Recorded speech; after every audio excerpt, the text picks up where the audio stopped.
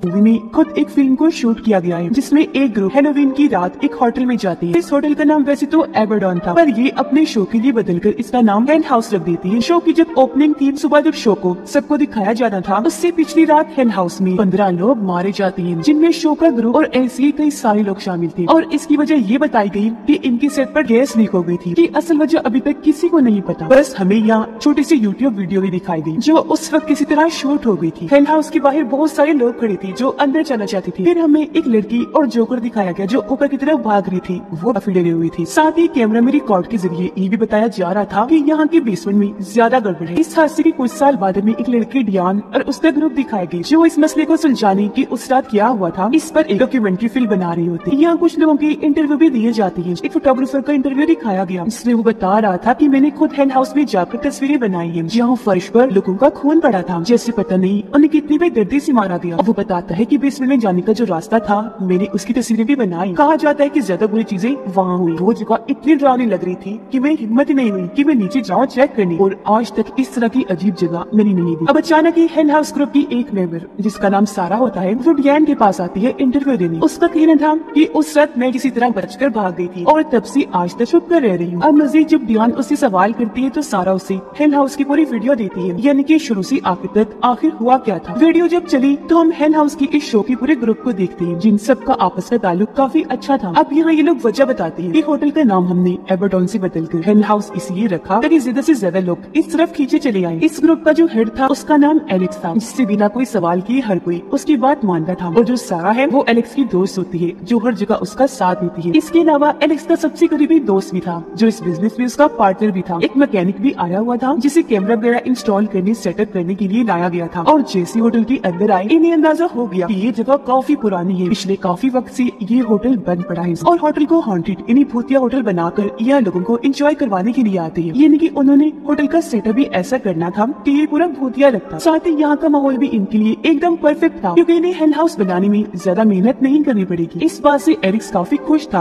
उसका कहना था कि ये जगह सोच से भी ज़्यादा परफेक्ट थी यहाँ बाकी को लग रहा था कि ये होटल अजीब है ड्राउना सा है। तो उसका कहना था कि ऐसा कुछ नहीं है। जब ये लोग एटिक में गए और फ़ोन पर दूसरे से बात कर थी तो इन्हें अपने पीछे से अजीब भूतिया आवाज़ें आने लगी। सिर्फ़ यही नहीं, जब ये सारी एलेक्स के पास वापस आई तो कैमरा में काली परछाई रिकॉर्ड हो जाती है, जिसने काले रंग की हुडी अपने सर पे ले रखी थी। और अब ये लोग होटल की सबसे ड्रॉइंग जगह पर जाते हैं, जहाँ पर बहुत सारा जिन भूतों को भगाने वाला और काले जादू का सामान पड़ा था, जैसे एक रिचुअल जादू का निशान स्टार था, जो जादू में काफ़ी मशहूर है। इसके अलावा कई सारी क्रॉस थी जगह जगह बाइबल पड़ी हुई थी, पर ये सब देख कर एलेक्स कहता है की डरने वाली कोई बात नहीं, ऐसे वैसे कुछ नहीं है। बाद में मैकेनिक और उसके साथी ने जगह जगह। कैमरा को सेट कर दिया था, ताकि हर चीज़ पर नज़र रखी जा सके। पर यहाँ एक मसला था, कि बेसमेंट में कैमरा नहीं लगा सकती थी। कई लोग फैसला करते हैं कि शो वाले दिन वहाँ किसी एक्टर या एक्ट्रेस को बिठा देंगे, ताकि वो वहाँ नज़र रख सके। और बस इसी के साथ यह भूतिया चीज़ें होना शुरू हो जाती है, जैसे की दरवाजे अपने आप ही खुलने और बंद होने लगते हैं। कैमरा रिकॉर्डिंग में बार पर कोई परछाई गुजरती है। इसके अलावा जब मैकेनिक अपनी वीडियो बना रहा था तो उससे अपने पीछे भी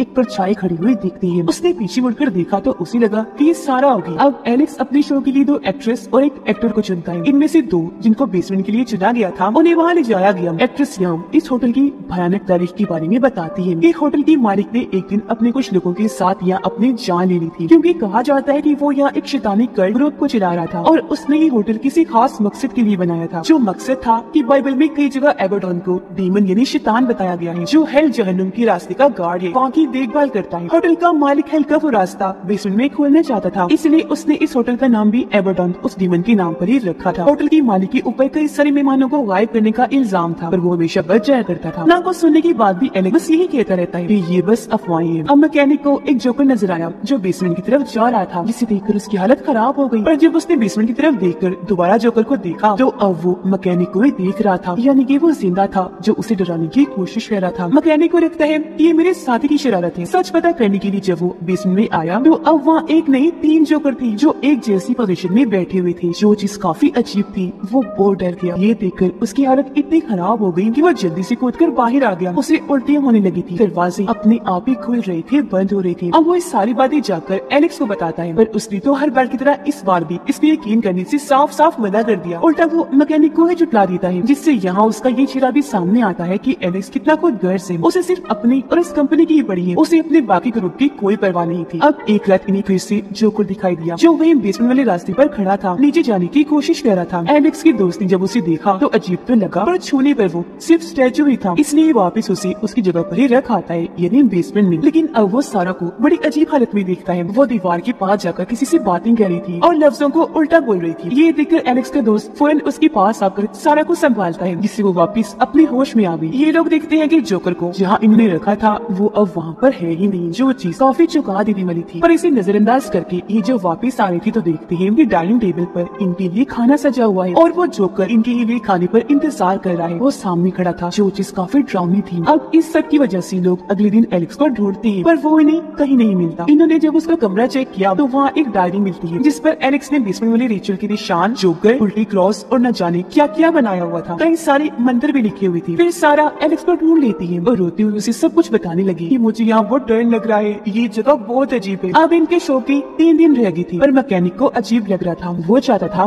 कि इस शो को लोगों के सामने ना हिलाया जाए, वरना बहुत गलत होगा। जिस वजह से उसे काफ़ी परेशानी हो रही थी। अब रात को जब वो सो रहा था तो उसे ड्राउनी आवाज़ सुनाई थी जिस वजह से उसकी आँख खुल गई। वहाँ एक ड्राउनी भूत लड़की थी, जो उसे ही देख रही थी, जिसकी आँखें सफ़ेद थी, चेहरे पर कर्ज के भयानक निशान थी, जो अब धीरे धीरे करके मैकेनिक के पास आने लगी। वो बहुत डर गया। अपने ऊपर चादर ओढ़ लेता है। इस उम्मीद के साथ कि वो यहाँ से चली जाएगी, वही चादर मुझे बचा ले। पर अब जैसे उसने थोड़ी सी चादर हटाकर देखी, वो ड्राउनी लड़की मैकेनिक के काफ़ी करीब आ चुकी थी और अब अचानक उस पर हमला कर देती है, जिससे कैमरा की वीडियो यही खराब हो जाती है। अब काफ़ी देर से क्योंकि मैकेनिक का अता पता नहीं था, इसीलिए उसका साथी कमरे में जाकर चेक करता है, पर वहाँ कोई भी नहीं था। ये बात आकर उसने एलेक्स को बताई। और अब जब ये मैकेनिक को कॉल करने की कोशिश करते हैं तो आगे से इन्हें जोरदार ड्राउनी आवाज़ सुनाई देती है। जिस वजह से इन्हें परेशानी होने लगी पता नहीं मैकेनिक कहाँ चला गया। उसे ढूँढने के लिए अब ये सीधा बेसमेंट में चले जाती है। मैकेनिक का साथी फ्रीजर रूम में जाता है। इस उम्मीद के साथ की मैकेनिक वहाँ गया होगा और उसने जैसी दरवाज़ा खोला। अंदर मैकेनिक तो नहीं, बल्कि तीन जोकर थे, जिनके चेहरों का रुख इन्हीं की तरफ़ था। वो इन्हें खोल रही थी। फिर अब इन्हें यहाँ मैकेनिक भी मिल ही जाता है, पर काफ़ी अजीब हालत में, क्योंकि वो गर्दन छुपाए, चुपचाप बैठा था, जैसे किसी के कंट्रोल में हो। अब ये देखकर एलेक्स ने भी कह ही दिया कि हमें डराने के लिए ये सब मैकेनिक कर रहा है। लेकिन बस एक चीज़ मैं मानता हूँ, जो है जोकरों की सर। टेक्निकली तौर पर ये वाकई नहीं मुड़ सकती। ये सुनकर मैकेनिक का साथी एलेक्स पर भड़क गया। कहता है कि मैं तंग आ चुका हूँ, मुझे अब यहाँ काम नहीं करना। अब मैं जा रहा हूँ, जो कहकर वो यहाँ से बाहर चल दिया। जिसके पीछे पीछे एलेक्स का दोस्त भी जाता है। वो मैकेनिक के साथी को एक ऐसी राज की बात बताता है, जो सुनकर मैकेनिक का साथी चौंक भी गया और फिर से काम करने के लिए राज़ी भी हो गया। पर आखिर में इन्होंने ये भी कहा कि सच में एलेक्स ने हमारी ज़िंदगी बर्बाद कर दी इसमें अब हम कुछ भी नहीं कर सकते। यहाँ हमने नोटिस किया कि जब से मैकेनिक बेसमेंट से वापस आया, वो अपने बिस्तर से ही नहीं उठा, वो वही पड़ा रहता है। जिसके बाद आखिर शो वाली रात आ ही गई, यानी कि अब सिर्फ़ कुछ ही घंटे रह गई थी हेल हाउस की ओपनिंग में। बाहर बहुत सारी ऑडियंस की भीड़ लगी हुई थी, जो इस शो का हिस्सा बनने आई थी। इन लोगों के लिए एलेक्स और एक एक्ट्रेस बाहर आती है और अपने शो में इनका वेलकम करती है। और अब हम यहाँ पर फिर से शुरुआत वाले सीन में आ जाते हैं, जहाँ कुछ लोगों ने यूट्यूब की वीडियो बनाई थी। ये वहाँ की फुल वीडियो है। एलेक्स एक्ट्रेस को उस स्टार वाले निशान के सामने बाँध देता है और सामने एक्टर को जोकर बनाकर बिठा देता है, ताकि वो हर चीज़ पर नज़र रख सके और एक्ट्रेस की भी देखभाल कर सके। अब सारे लोग हाउस में आना शुरू हो गई जबकि एक्टर जो जोकर बना हुआ था, वो बेसमेंट ऐसी बाहर आता हुआ दिखता है, जो बेहद डरा हुआ था। और यहाँ हैरान करने वाली बात ये इसके दिन बाद उसकी लाश अपने कमरे में से मिली थी। सारा पे डरी हुई ऊपर भाग रही थी, जिसे हमने शुरुआत में भी देखा था। अब बेसमेंट में हमने देखा कि वहाँ एक अजीब सा इंसान आया है, जिसका चेहरा स्कल खोपड़ी जैसा था और इसी से डरकर जोकर एक्टर ऊपर भाग गया। अब अचानक वो चुका जहाँ एक्ट्रेस को ज़मीन पर बांधा हुआ था उसके नीचे काफ़ी बड़ा गड्ढा बन गया, जिसके अंदर एक्ट्रेस नीचे हुए चली जाती है। यानी कि ये बात सच थी होटल के मालिक ने यहाँ हल्का पोर्टल रास्ता बनाया हुआ था, जो यही वाला था। अब हालात खराब होते ही एलेक्स के दोस्त यहाँ आए लोगों की मदद करने लगा। यहाँ से बाहर निकलने में। पर अब जब उसकी खुद की बारी आई तो सारे दरवाजे उसके लिए बंद हो गई थी। यहाँ उसे मैकेनिक का साथी भी मिला, जिसे वो बेसमेंट में जाने का कहता है, ताकि वो एक्ट्रेस की मदद कर सके। पर अब जब ये वहाँ गया तो मैकेनिक का साथी भी हल्के रास्ते में भेज दिया जाता है। और अब हम यहाँ बहुत ही ड्रा देने वाला सीन देखते हैं। अचानक सभी भूत आत्माएँ अपने यहाँ पे ज़िंदा हो जाती है, ताकि वो अपने साथ और आत्माओं को ले जा सके। हर जगह आत्माएँ फिरती हुई साफ़ दिखाई दे रही थी। अब जब सारा और एलेक्स का दोस्त ऊपर एटिक में गई तो ये वहाँ अजीब हालत में एलेक्स को देखती है। जो खुद को फांसी पर लटका रहा था, उसका दोस्त को सारा एलेक्स को ऐसा करने से मना भी करी थी। पर तभी और भी कई सारी काली वाली आत्माएँ आ गई, जिनके साथ उनका लीडर भी था। वो इन लोगों को ऐसे करने से मना करके उनका कैमरा ही तोड़ देता है। और तब तक एलेक्स ने खुद को फांसी से लटका ही लिया था। अब आगे क्या हुआ? एंडिंग पूरी दिखाई बगैर ही वीडियो बंद हो गई। और प्रेजेंट टाइम मौजूदा वक्त में हम सारा को देखते हैं, जहाँ पर सारा का कहना था कि बस यही हुआ था, जिसके बाद में मेन दरवाजे से निकलकर होटल से सही सलामत तुरंत बाहर आ गई। और बस तभी से आज तक में छुपी हुई थी। इंटरव्यू का वक्फा लेती है ये। कहकर कि बाकी का इंटरव्यू में बात भी दूँ जो तुम मेरे कमरे में आकर ले सकती हो।